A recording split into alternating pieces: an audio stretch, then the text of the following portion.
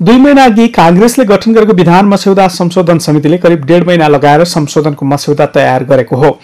यसअघि क्रियाशील सदस्यता र साधारण सदस्यताका रूपमा वितरण गर्ने काङ्ग्रेसको सदस्यता वितरण विधान संशोधनको प्रस्ताव पारित भएपछि क्रियाशील सदस्यताको व्यवस्था खारेज हुन लागेको छ। त्यस्तै विधान संशोधनको मस्यौदामा पदाधिकारी सहित केन्द्रीय समितिका सबै सदस्यहरूको निर्वाचन प्रक्रिया अहिलेकै जस्तै रहने व्यवस्था गरिएको छ। सातवटै प्रदेशको बाह्र ठाउँमा हामीले सुझावहरू सङ्कलन गऱ्यौँ। त्यहाँबाट पनि अलिक फरक फरक नै सुझावहरू आए तर ती सबै सुझावहरूलाई केलाएर हामी चाहिँ त निष्कर्षमा पुगिराखेका छौँ। त्यसो भएको हुनाले यसमा यो कुनै विवादको विषय होइन। निष्कर्ष भनेको अब अहिलेको जुन परिस्थिति छ त्योभन्दा पछाडि पनि नजाने।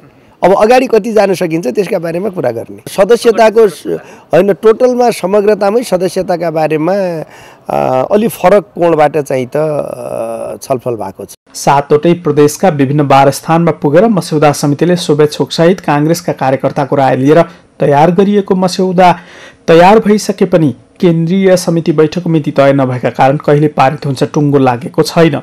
केन्द्रीय समिति बैठकमा विधानको मस्यौदा पेश भएपछि केन्द्रीय समितिले पारित गरी मङ्सिरमा हुने काङ्ग्रेसको महासमिति बैठकमा पेश गर्ने काङ्ग्रेसको तयारी छ। विधान मस्यौदा समितिका कारणले विधान नबनेका कारणले अथवा विधानको मस्यौदा नभएका कारणले महासमिति सर्दैन महासमिति रोकिँदैन।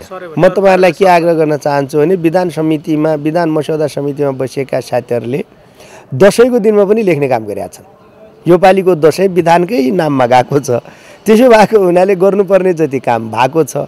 दुई हजार सत्र सालमा बनेको काङ्ग्रेसको विधान यसअघि आठ पटकसम्म संशोधन भइसकेको छ। संविधान जारी भएर देश सङ्घीयतामा गएको करिब तिन वर्षपछि काङ्ग्रेसले बल्ल सङ्घीय संरचना अनुसार पार्टी संरचना बनाउन विधान संशोधन गर्न लागेको हो। सदरमाथा टेलिभिजनका लागि क्यामरामा केशव तिमिल सिन्हाका साथमा अमृतराज काफले काठमाडौँ।